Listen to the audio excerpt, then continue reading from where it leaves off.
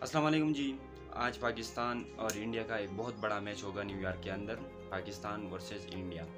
پاکستان نے ایک match U S A سے ہارا ہے، بدترین شکست کھا چکا ہے اور اس کے بعد انڈیا نے اپنا میچ جو ہے آئرلینڈ سے جیت چکا ہے۔ اس کے بارے میں بات کریں گے کہ پاکستان کیا انڈیا کو شکست دے سکیں گے یا نہیں۔ اور ٹاس کی کیا اہمیت ہوگی اس کے بارے میں ڈیٹیل سے بات کریں گے۔ سب سے پہلے پاکستان ورسز انڈیا کا میچ ہوگا۔ پاکستان نے اگر ٹاس جیتا تو پاکستان پہلے بولنگ کرنے کا فیصلہ ہی کرے گا۔ اور دوسرا جو ہے اگر انڈیا نے بھی ٹاس جیتا تو انڈیا بھی پہلے بیٹنگ کا فیصلہ کرے گا۔ پہلے بولنگ کا فیصلہ کرے گا۔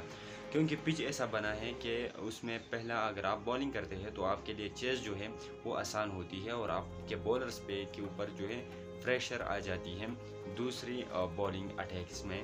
اگر آپ پہلے بولنگ کرتے ہیں تو آپ کے بولرز پر کوئی پریشر نہیں ہوگا۔ آپ کے لیے پچ جو ہے وہ سلاٹ ہوگا۔ آپ جو ہے مطلب دوسری اننگ میں اچھا سکور بنا سکتے ہیں۔ اگر پاکستان نے یہ میچ نہیں جیتا تو کیا پاکستان پھر بھی سپر ایٹ کے لیے کوالیفائڈ ہوگا یا نہیں؟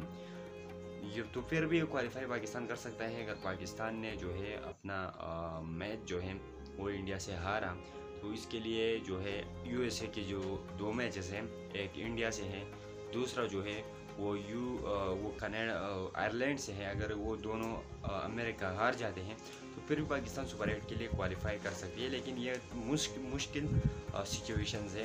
اگر پاکستان کوالیفائی کرنا چاہتے ہیں تو پاکستان جو ہے انڈیا کو شکست دے تو پھر جو ہے پاکستان کوالیفائی کر سکتی ہے۔